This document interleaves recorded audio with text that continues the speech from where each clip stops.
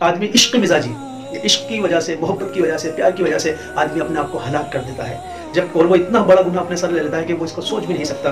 अल्लाह ताला कुरान में कहते हैं कि हमने हमने तुम्हारे लिए जोड़े बनाए हैं और तुम्हारे लिए तस्कीन का सामान बनाया है। वजाला बैनकुम मुवद्दतम व रहमा, कि हमने तुम्हारे लिए जो इसके अंदर मोहब्बत पैदा कर दी, रहमत पैदा कर दी। इस्लाम जो है शादी से पहले इसको कबूल नहीं करता है। ये बिल्कुल ऐसा है कि आप इफ्तारी से पहले इफ्तार कर लें। ना तो आपको रोज़े का सवाब मिलेगा और बल्कि आपको इसका गुना मिलेगा।